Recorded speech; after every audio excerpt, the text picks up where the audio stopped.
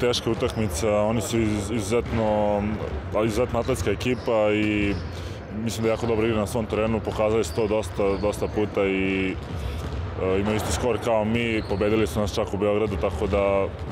imamo motiv više da, da pobedimo u Francuskoj. Pa prvenstveno moramo da, da uđemo u utakmice drugačije, jer oni su, kao što sam rekao, dobra e, atletska ekipa i mislim da moramo da, da, da ne smemo da uđemo u njihov ritam i da igramo njihovu igru, jer jer oni znaju kako da se nose sa tim i znaju kako da igraju na snagu i na, na, na brzinu, tako da moramo da budemo malo pametniji nego što smo bili u Beogradu ako hoćemo da pobedimo. Pa sigurno da nam je to dalo malo na samopouzdanju, jer jednostavno ove sezone smo igrali Uh, imali smo uspona i padova i mislim da nam ovakve, ovakvi periodi znače za, za generalno za, za hemiju u ekipi, tako da svaka pobjeda znači i nadam se da ćemo nastaviti tako.